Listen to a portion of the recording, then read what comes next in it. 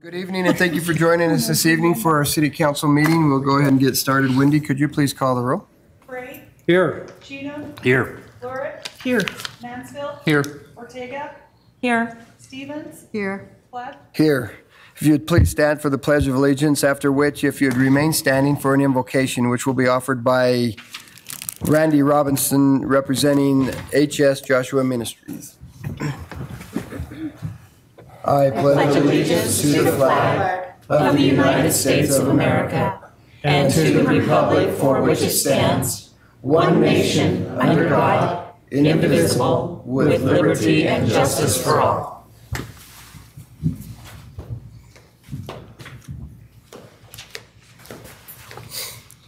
Hi, I'm standing in for Marianne tonight with HS Yeshua, so I just want to pray over the, so council members and mayor, Lord, I just lift up this time to you. You are in charge of this city and you are in charge of this meeting. Lord, you love Pocatello.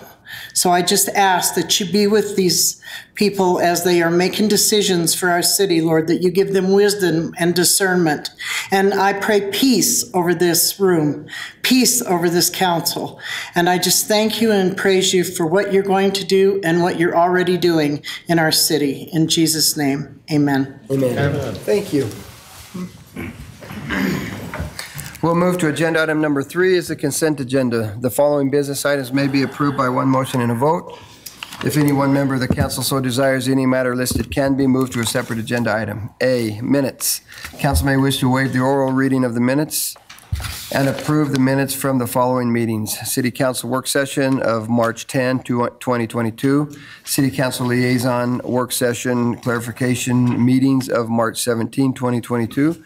Clarification and regular council meeting of May 5, 2022, and May 19, 2022. B, material claims. Council may wish to consider material claims for the period of June 1, 2022 through June 10, 2022. C, treasurer's report. Council may wish to consider the treasurer's report for April 2022 showing cash and investments as of April 30, 2022. D, Historic Preservation Commission appointment. Council may wish to confirm the mayor's appointment of James Young to serve as a member of the Historic Preservation Commission, replacing Elizabeth Four, who resigned. Term to begin June 17, 2022, and expire November 20, 2023. E, Library Board of Trustees appointment. Council may wish to confirm the mayor's appointment of Sean Yardley to serve as a member of the Library Board of Trustees, replacing Sharon Manning, whose term expired. Term to begin July 2nd, 2022, and expire July 1, 2027. F, Library Board of Trustees reappointment. Council may wish to confirm the mayor's reappointment of Sarah Shropshire to continue serving on the Library Board of Trustees. Sandra's term, Sandra's term will be, will begin July 1, 2022, and will expire July 1, 2027. G, Parks and Recreation Advisory Board reappointment. Council may wish to confirm the mayor's reappointment of Frederick uh, Blazer to continue serving on the Parks and Recreation Advisory Board. Frederick's term will begin July 8, 2022, and will expire July 8, 2024. H, council decision Creekside District Division Two subdivision short plat approval. Council may wish to adopt this decision approving a short plat for Creekside Division, District Division Two subdivision, which subdivides approximately 2.31 acres of land located at 1625 Pocatello Creek Road into two lots, subject to conditions. Councilman Bray. Mr. Mayor, I move that all consent agenda items, with the exception of item C, be approved and that I, I thought it was item C. Is it B Oh, or oh, C? oh, I'm sorry. Material claims, B. You're right. Items, uh, with the exception of B, be approved and that B be set aside for separate discussion. Second. We have a motion by Bray and a second by Cheatham. Wendy, could you please call the roll? Bray, Yes. Cheatham, Yes. Leeuwrik, Yes. Mansfield, Yes. Ortega, Yes. Stevens, Yes. Thank you. We have uh, item B, the material claims in front of you. Um, I, I just wanted to point out on pages 13 and 14, um, the city has had opportunities in the past with both uh, uh, wind turbines and with solar panels to move forward and to uh, find a way to, to uh, produce its own electricity. I just want to note that we're spending $158,000 in the last month And uh, uh, we, that's probably a light month because of, uh, uh, we're not running heaters or coolers like we do in other months. So I would say that we probably have at least $2 million annually that uh, we could redirect if we were to choose to do solar and- or to do wind power. And I know that at one time, it was a seven-year payback to have seven um, wind turbines installed up on City Creek. Okay. I I have a question. Yes. Uh, I don't know who to ask. I would have sent an email, but there's, on page 14, there's an, an item at- towards the bottom. It says um, ITD, impound 2019 Dodge Ram, $3,455.64. You know what that is? I asked finance about that earlier today. Uh, There was a vehicle that was impounded, and that payment, the way the system for an abandoned vehicle works, is we don't get to keep any of the money when that vehicle is sold. The money goes back to people who are involved in the impound process, and this part of this is for transferring the title through ITD and the services that they provided. The police department got, what was it, chief, $54? is what the city netted out of that entire transaction. It's a broken system. Okay, thank you for that. Any other questions? Okay, council, we've got B to consider. I move that we approve item B. Second. We have a motion by Bray and a second by Cheatham. Wendy, could you please call the roll? Yes. Cheatham, Yes. Leeuwrik, Yes. Mansfield, Yes. Ortega, No. Stevens, No. Okay, thank you. We'll move to agenda item number four is calendar review. Council may wish to take this opportunity to inform other council members of upcoming meetings and events that should be called to their attention. On June 30th, 9 a.m., City Council Budget Meeting. July 7, clarification meeting at 5:30 PM, a regular council meeting at 6 PM. June 17th, Pokey Paddle, 4 to 7 PM at Rainey Centennial Park. June 19, Father's Day at the Zoo. Fathers will receive a 50% discount off their admission when accompanied by a paid child. City offices will be closed for the following days. Monday, June 20, in observation, uh, observance of the Juneteenth holiday. Monday, July 4, in observance of Independence Day. Garbage and recycle services will operate as scheduled. Ross Park Band concerts on Sunday evenings from 7 PM to 8 PM begin June 26th and continues through the month of July. July 4, Independence Day Parade begins at 9:30 a.m. in historic downtown Pocatello. And July 4, celebration activities and firework display will be held at the Bannock County Event Center and Portneuf Wellness Wellness Complex. So do you have to pay admission for the child or just pay them to come with you? Maybe just pay him to come with you, I'm not sure. Yeah, If you have any questions, call the zoo. Okay, we'll move to agenda item five, a final plat application, Northgate District Division Two. Council may wish to consider a request by Ken Poppy, represented by Creek Hollow and Associates, for a final plat to be known as Northgate District Division Two. The proposal calls for the platting of 19.5 acres, more or less, into 14 lots. Following a public hearing, the Planning and Zoning Commission determined that the proposal was compliant with all applicable standards uh, of city code with conditions. Mr. Mayor? Yes, Councilman, Council President Cheatham. Mr. Mayor, I move for approval of agenda item number five, the final plat application for the Northgate District Division Two as submitted. Second. We have a motion by Cheatham and a second by Leeuwrik. Wendy, could you please call the roll? As submitted.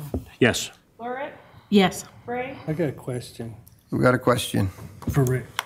Rick? If, if we approve as submitted, are we saying as submitted on our agenda or as they submit? Submitted here, Okay, under our consideration. okay. Yes.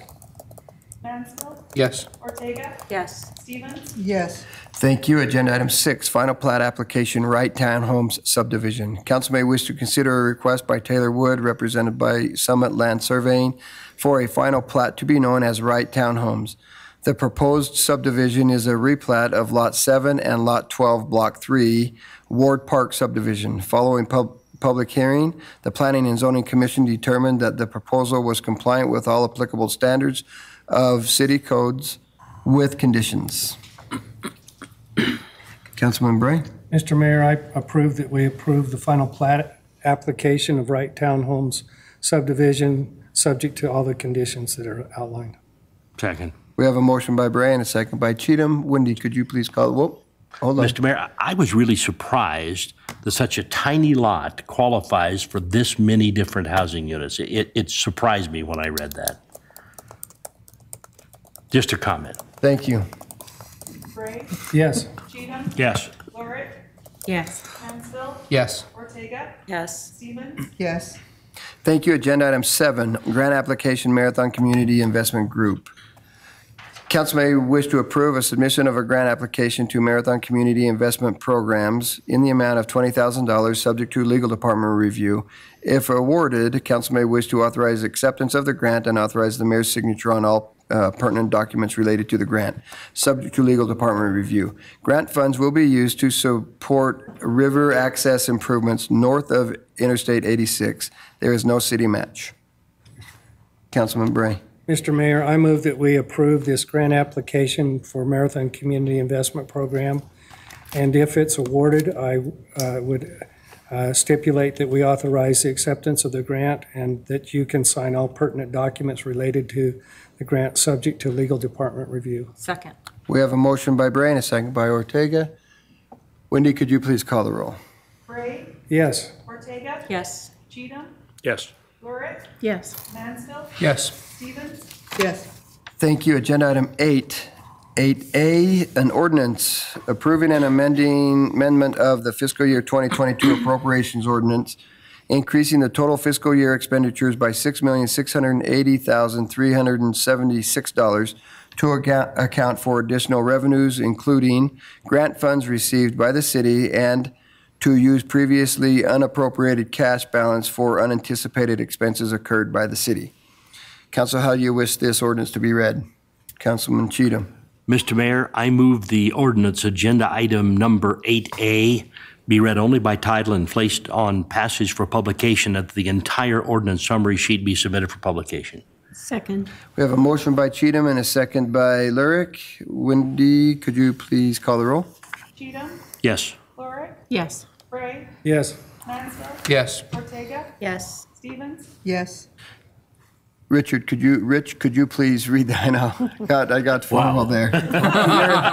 You're you're in trouble is what happened here. Could you please read the ordinance? I'm just glad you didn't say my middle name. I almost did.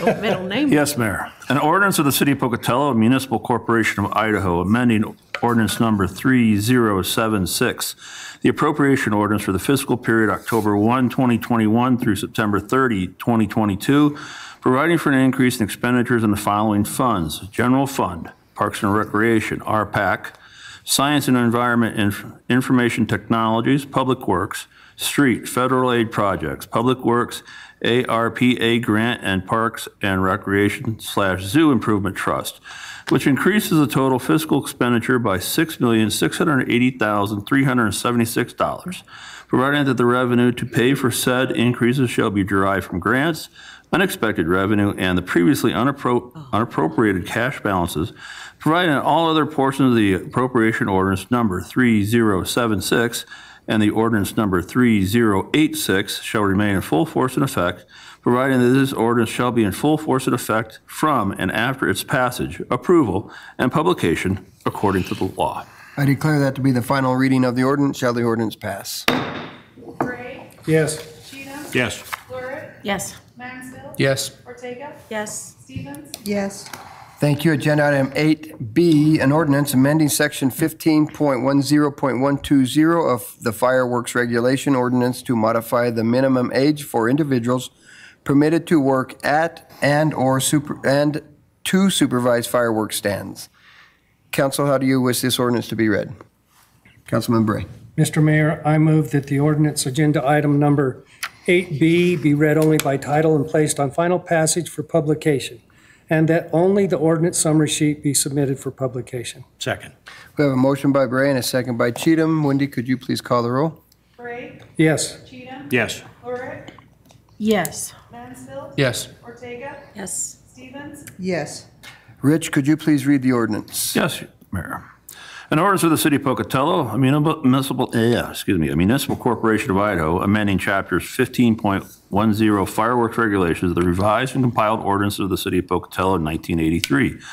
More particularly by amending chapters 15.10.120, sale only at temporary fireworks stands, to modify the minimum age for individuals permitted to work at fireworks stands, providing that this ordinance and the provisions contained herein established pursuant to this ordinance shall be in full force and effect from and after its passage, approval, and publication according to law. I declare that to be the final reading of the ordinance. Shall the ordinance pass? Bray, Yes. Cheatham, Yes. Leeuwrik, Yes. Mansfield, Yes. Ortega, Yes. Stevens, Yes. Uh, Council, we have nobody that has signed up for agenda item nine, so with that, thank you very much for the 16 minutes you spent with us tonight. We are adjourned.